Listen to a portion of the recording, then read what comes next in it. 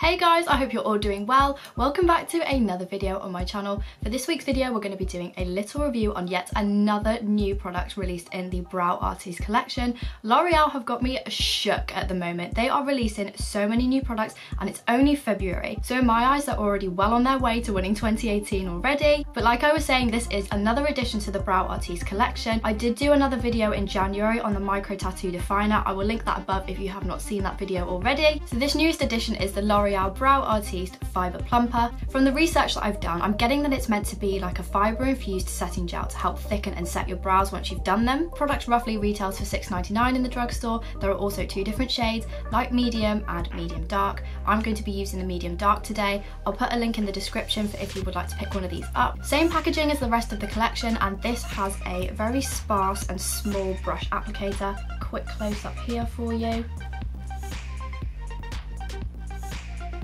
Now before I go in and test this product, I'm just going to give my brows a quick brush. I haven't got anything in my brows product wise whatsoever so we could see the full effect of what this product actually can do. So this is just a quick close up of what my eyebrows look like before. I'm going to go in and gently brush through my brows with this product and then we can see what it looks like afterwards.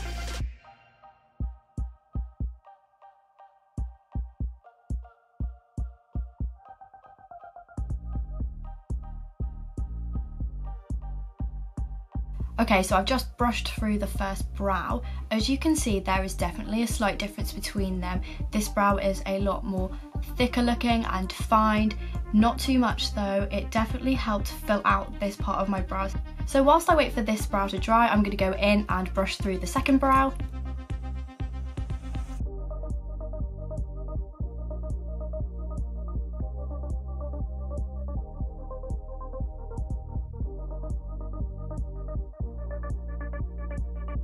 So guys, this is the final product. My brows have now dried and they have dried hard, but they don't look crispy if that's what you're worried about your brows looking like if you use any type of gel products in them.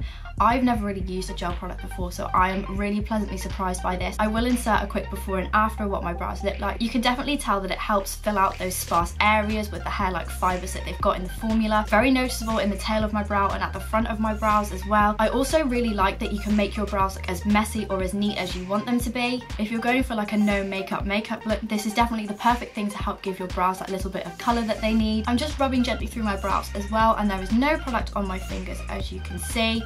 So there's definitely no danger of this product rubbing away throughout the day. This product either used by itself or paired with another brow product would be perfect. I feel like when you get one of these and start to use it, you probably won't be able to live without it. Definite, definite makeup bag must have.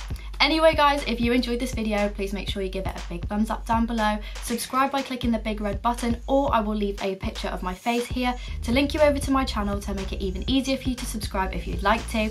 I will also leave a couple of extra videos over here in case you want to carry on watching. Make sure you hit that bell for notifications every time I post a new video. Thank you so much for watching and I will see you in my next video. Bye!